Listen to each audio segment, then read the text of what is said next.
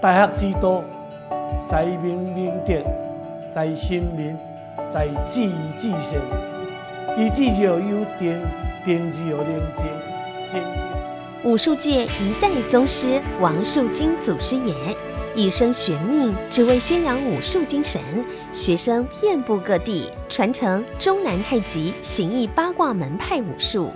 从小就喜欢武术，所以呢，因为我有我的母亲的鼓励，所以那时候我就从早上哈就两点半起床，准备好了三点钟就从草屯出发，骑脚踏车到台中公园去跟师傅练习。到时候师傅呢看可以了，他就要我到台中去住着，那是最高兴了。不要早上那么早，而且呢又可以多学习，那是非常高兴的。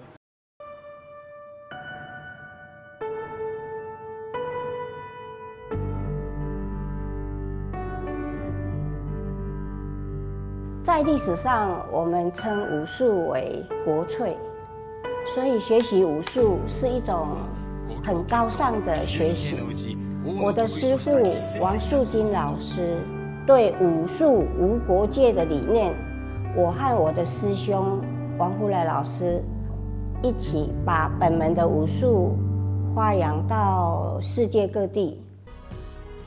前辈们奠定基础，成为后辈之典范。为台湾武术写下辉煌历史。然而，台湾青年对于武术却是知之甚少，成为传承武术的断层与瓶颈。王来老师说：“你你教教我保守教，啊是可是以前的教练来是是很严格嘛，现在年轻人叫来练不要钱的，他也不不进来。我是打算这样啊，国小社区先推，年轻人吸收力比较快，我们就教比较快。”年老的我们就教比较简单的。透过这几年在陈明慧的学习跟熏陶，好，还有大师常常的叮咛，哦，打拳的时候要松、要慢、要专注，哦，所以才能够让我的心身心呢获得很大的一个转变。我们称名武术它不只是防身术，它还可以让小朋友学习做人处事的态度。那我们内家拳讲究的是以柔克刚。化解冲突。那我们在上课前会先站桩十五到三十分钟，一方面呢是要让自己把课程以外的思绪沉淀下来，啊，让自己可以在后面学习武术的时候可以更专注。那另一方面也是要训练自己的毅力，还有对做事情的坚持。像我在开大手术的时候，有时候有很大的压力。我在开刀前，我反而不是去复习那些医学相关的东西，我反而是把自己的身体准备好，就是好好的练一下这个陈明会的一些武术。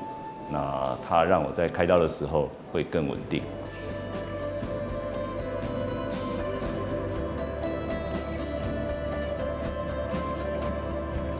你要对自己的父母亲，对自己的朋友。而且对其他的社会种种，你都能把社会安抚得很好，这就是一个责任，这也就是武德。